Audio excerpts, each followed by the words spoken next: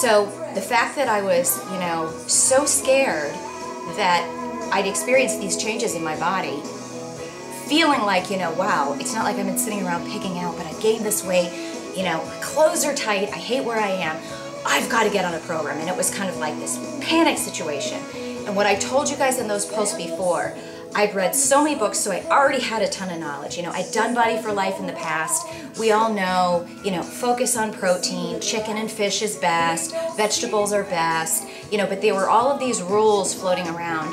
And I'm trying to follow them. And then, you know, when you're blogging about it too, you have a lot of people watching you. So then you have a lot of people, fully well intentioned, that are offering their advice. But here's what happens you have all of these people that have very specific ideas about what works for them, and then they feel that it's not a problem to tell you, don't do that, that's wrong, that's wrong, that's wrong. When you have like 200 people, and I'm exaggerating there, telling you all different things, you, you finally get to the point where it's like, nothing is right.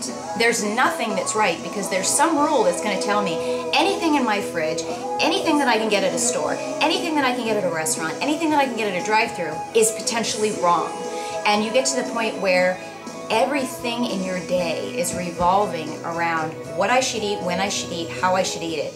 And that's not normal. It's like then food gets this place in your brain and in your life where it's of utmost importance. So you're putting food like up at the top of everything. And and you think that you're trying to make it, you know, this this good for you thing, right? Where it's like I'm trying to eat the best food. Food should just be something that it's like and, and I'm sorry, some people disagree with me on this. It shouldn't be the be all end all. That's what you put, you know, we're supposed to, we, we are supposed to enjoy food, okay? We're not supposed to be gluttonous, okay? Even the Bible, Bible tells us that. You're supposed to enjoy the food that, that is here on this earth and, but enjoy it to, uh, you know, a minimum. Have, have a taste instead of having, you know, the entire cake or the entire pizza. And, you know, the, the big portions, the uh, super size, I mean, that's what, in our country ha has gotten people completely out of touch. We're obsessed with food either from a dieting perspective, where we're so obsessed with what we can't have, and then we obsess because basically, if like this, this is the whole world of food that that is in existence, right? And when you're dieting, you're saying I can only have that. So it's kind of like Adam and Eve, right? You're like you can have all of this, but you can't have that. What are you going to focus on? You're going to focus on what you can't have. And you feel like you're denying yourself. So then all of a sudden, it's like supply and demand. What you're not allowed to have all of a sudden becomes so much more appealing. Okay? When you deny yourself sugar or even fruit or even a, a glass of milk because you think it's so bad for you and you can't get to looking like this or like this, um, or even like this. You know, this isn't someone chiseled and ripped, but you know, she's slim. If you think that you can't enjoy that or have a glass of wine and be healthy, you know, then it's like you're not having fun, you're killing yourself at your at the gym, you're obsessed, and you're not enjoying your life. And then everything else that you're not letting yourself have becomes so much more appealing than it probably really is a lot of what I've been noticing now that I'm really not putting limits on what I'm eating. Like if I really am somewhere and I want to have a cupcake or whatever, I'm really take finally, okay, I've tried to do this before, but the Eat Stop Eat program for me and fasting and realizing that I can go without food and it's not the end of the world, it's helped me that when I am eating, I'm not looking at food like it's the be all end all. I'm looking at a cupcake and going, that looks really yummy, but now I'm sitting there because I can have it.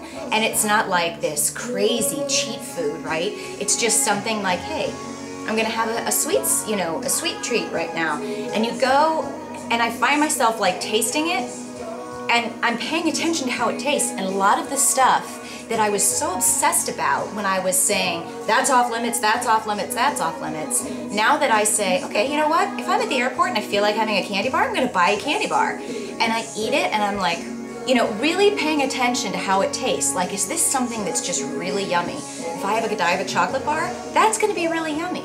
But like I got a Mounds bar at the airport the other day and I'm, I'm like, I took it out and I looked at it and it was kind of like, it just looked like it was not fresh. How can a candy bar be fresh, really? But I mean, there was like a powdery substance on it, um, probably some kind of preservative or whatever. But, you know, I was tasting it and I'm like, you know, this just isn't that tasty. But in my mind, because, you know, for how many years I haven't had candy bars, the thought of having a Mounds bar, which is chocolate, and there's absolutely no protein in there, and there's nothing good for me in it, I would never have it. But then I'm having it, I'm like, this really is not that big of a deal. When do you think the next time is I'm gonna pick up a Mounds bar? Probably, I, I can't even imagine why I would. It's just not that big of a deal. So it's, I, I think a lot of what um, binging and, and, and that kind of cheating happens when you are constantly dieting and you're constantly saying, you can't have this, you can't have this, you can't have that, this is the only way for you to lose weight and get skinny, um, that's just wrong. Absolutely can you do a comp diet and get into competition shape and get up on stage and that's when you're gonna see your abs pop, you know, like this with the guy, right? Or like this with the girl. You're not gonna have abs like that very few people can have abs like that, okay? My trainer will tell you that, Jenny Lynn will tell you that. You can't have abs like that walking around unless you are literally every single day um, working out, probably doing at least an hour of cardio every day, um, probably having such a pristine diet that you never drink. You probably don't have diet soda, um, and you're probably having really nothing but chicken, uh, brown rice, and vegetables, and oatmeal and protein powder. And then you can look that way. But I mean, that is a lot of work to have your abs absolutely pop out like that. Some people, um, when I saw Dara Torres, you know, at the um, More Reinvention Convention, you know, she lifted up her shirt, she had abs showing. Were they popping that much? No, but they were kick butt. Um, so some people can do it, but realistically, you have to realize you can get looking good, but to get, you know, stage ready, you do. You have to follow that, you know, beans, broccoli, chicken, rice, and you've got to eat, um, you know, usually I think most people you do. You have to have a lot of protein. It's all about building muscle. I mean, and, and in that case, you guys, it is. It is like a scientific equation. Anybody that's competed before and gotten up on stage those last four weeks, okay, you're starting to vary your carbs based on how it's going to make your muscles bulk up. And then you take the water out so that of your body, you start dehydrating yourself so that the muscles that you've built up, the fat comes off, but then also the water that fluffs up on top of the muscle comes out. That's what makes these people look that way on stage you're actually denying your body like simple things like water so that you can get up on stage and have your muscles that are underneath pop out, okay? It's not natural. And most of those people we all know, anybody can jump in and tell you, if they go out and have a hamburger, they can gain 10 pounds in a day. That's how much of like a scientific alteration you're doing to your body to look that way. So in that case, yeah, you know, when you have a trainer who's saying, you're to get up on stage, you've got to be at 8 or 10% or 12% body fat. That's the kind of psychotic dieting you have to do. Some people can do it and they're they're awesome at it. Jessica's done it. Um, April is really good at it. Um, a lot of you, I mean, obviously Jenny Lynn is a pro at it. She trains people. She's been up on stage a million times. She's awesome. She knows what works. But guess what? When I was doing that diet, um, and I had results with that diet, people. Excuse me. But when I would get to the point where I would tell her, and I was doing an hour of cardio a day, I was doing this or that, the first thing that she would say to me when I would say, I don't feel like I'm losing fat, she'd say, we gotta cut your diet.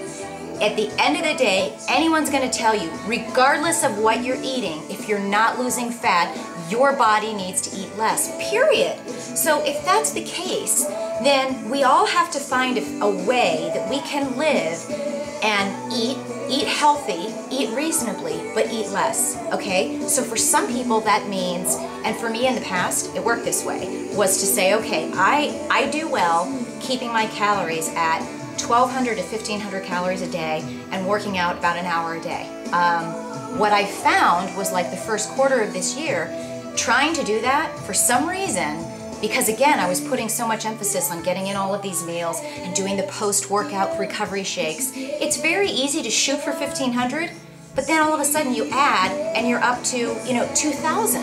It's very easy to do this. You know what I'm gonna do? I'm gonna shoot another vlog. I don't know if I'll post them all today because I feel bad shooting two days with three vlogs, but I, I kind of need to just say all this. I, I hope you guys aren't mad.